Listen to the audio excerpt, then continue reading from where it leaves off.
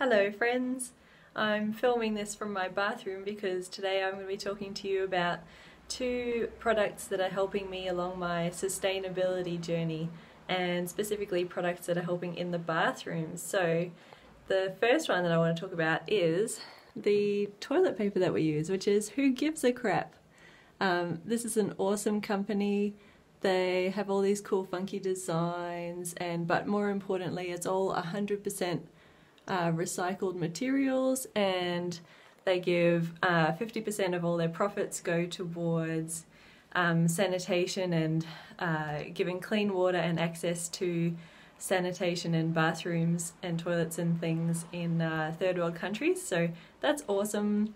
Um, and when I did the dollar per dollar analysis, it works out as one of these rolls is actually cheaper than buying a whole bunch of rolls at the supermarket anyway. So uh, yeah, free shipping in Australia, so can't go wrong with that, right? So that's that. And then the other product that I'm really, I'm really excited about this one and honestly I'm just telling every woman that I know. So guys, you know, the toilet paper, you can use that as well. This one is not going to be relevant for you, I'm sorry. But girls, this is the most exciting thing I have found this year so far. So it is the menstrual cup. Now, don't get too grossed out. I won't give too much information, but this is amazing. This is one product that you can use for, they reckon it lasts 10 to 12 years. Um, this one cost me $25 plus $5 shipping online um, from a site called Love Thyself. I'll link the link down in the description below. Um, but in terms of sustainability, uh, basically you know, if you think about the thousands and thousands, like hundreds of thousands of sanitary products that you would use over your lifetime, um, you know, that you menstruate, like it's humongous, it's so much.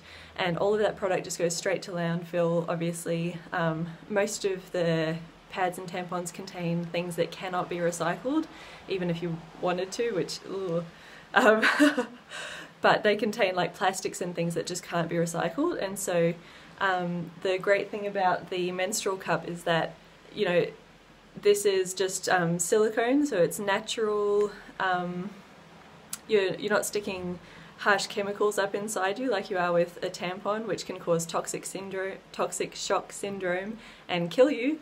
So it's safe and um, yeah, environmentally friendly. I yeah, um, because you just buy one and then wash it and you use it forever. You're not chucking something in landfill every um, few hours, you know? Um, yeah, and super comfortable, super convenient.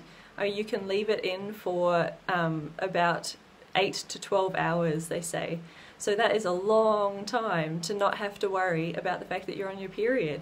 It's awesome, like so awesome put it in before you go to work. You don't have to change it at work. You don't have to change it in no public restrooms or anything like that.